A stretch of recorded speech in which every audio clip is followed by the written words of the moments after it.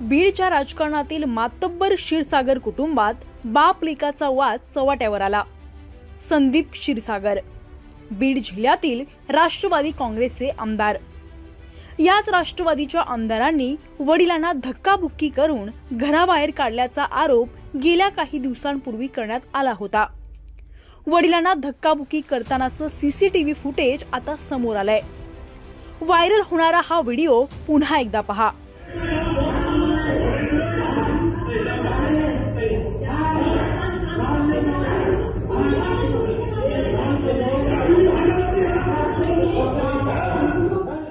या व्हिडिओमध्ये बाप लेक एकमेकांवर धावून जाताना दिसत आहेत वडिलांनी केलेल्या आरोपानंतर आमदार संदीप क्षीरसागर यांच्या विरोधात पोलिसात तक्रार दाखल करण्यात आली आहे.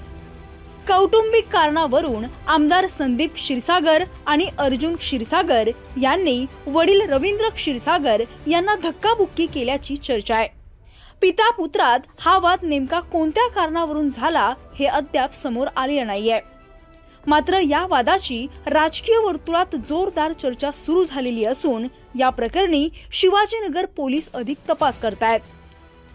Rohit Dixit Maharashtra Times online Beed.